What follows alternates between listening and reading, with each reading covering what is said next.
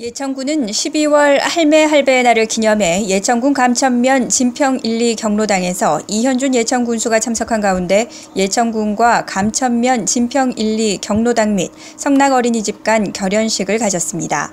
이 행사는 지난 10월 25일 할매 할배의 날 선포식 및 가족 공동체 회복 100일 프로젝트 12월 추진 사업으로 할매 할배의 날 기념 관내 경로당과 어린이집 결연 사업을 통해 어르신과 어린이들과의 격대 문화 조성으로 효문화 분위기를 확산하기 위해 마련했습니다. 이날 성락 어린이집 원생들이 귀여운 산타로 변장해 신나는 캐롤송을 율동과 함께 어르신들에게 선보였으며 예천군과 진평일리 경로당 성락 어린이집 간 결연 증서의 서명 날인 및 교환, 기념 촬영 후 어린 아동이 할매 할배들에게 따뜻하고 건강한 겨울나기에 도움이 되도록 고사리 손으로 내일을 선물해 더욱 훈훈한 분위기를 연출했습니다.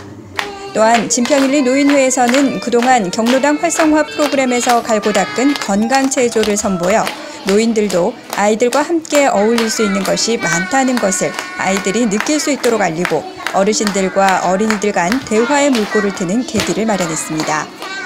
이 행사를 계기로 앞으로 정기적으로 월 1회씩 만남을 가지며 소문화 확산을 위해 봉사활동을 실시하는 등 노력하기로 했습니다. 이현준 예천 군수는 어르신들을 자주 찾아뵈므로써 조부모에 대한 소중함과 자존감을 일깨우고 손자녀들과의 소통으로 외로움을 잊고 어르신들의 삶의 지혜를 가르쳐 어린이들이 올바른 인성을 기르도록 어르신들의 멋진 역할을 당부했습니다. 한편 예천군은 읍면 할매 할배의 날 행사, 격대문화 모범가족 선발 등 충효의 고장에 걸맞은 효자도시의 후손들이 많이 배출될 수 있도록 효문화 확산 행정을 적극 펼치고 있습니다.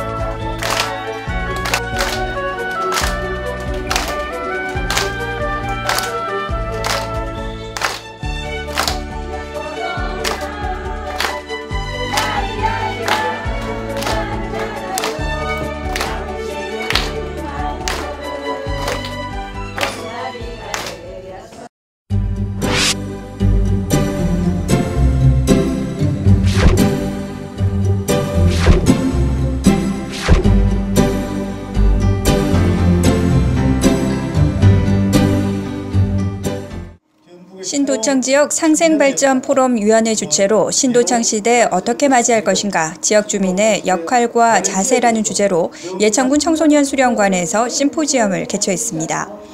이날 심포지엄에는 이현준 예천 군수, 최태환 안동 부시장, 도의원, 기관 단체장, 신도청 지역 상생발전 포럼 위원, 상공인, 군민 등 150여 명이 참석한 가운데 신도청 시대의 성공적 개막에 지혜를 함께 모으는 소중한 시간을 가졌습니다. 이번 심포지엄은 신도청 시대의 성공적 개막을 위한 범국민적 분위기를 조성하고 웅도 경북 문화 창조를 위한 지역민의 역할과 자세를 되새겨보는 자리로 이 분야 전문가와 지역 인사들과 함께 신도청의 성공적 개막을 위해 심도 있는 논의를 위해 마련했습니다. 김세환 친절청결교육협회 회장이 신도청 시대 소통과 배려로 아름다운 상생 웅도문화 창조라는 주제 발표 후 김상붕 고려대 교수를 좌장으로 임성호 대구 경북연구원 연구위원, 김혜숙 예천 어린이집 연합회장, 신현아 안동시 상인연합회장의 지정토론 순으로 진행됐습니다. 신현수 상생발전포럼 위원장은 인사말을 통해 지역 주민들이 성공적 신도청의 개막을 위해 적극적인 역할을 해야 하며 도청 소재지 주민으로서 품격 있는 자세를 갖춰야 한다고 밝혔습니다. 이현준 군수는 환영사에서 신도청 시대를 맞아 신도시 입주자, 유관기관 단체 임직원, 기업들에 대한 환영 분위기 조성과 신도청 소재지 군민으로서 자긍심을 고취하고 선진의식이 생활화될 수 있는 좋은 기회를 가질 것을 당부했습니다. 신도청 시대를 열어가는 경북 투데이 뉴스에서 전해드렸습니다.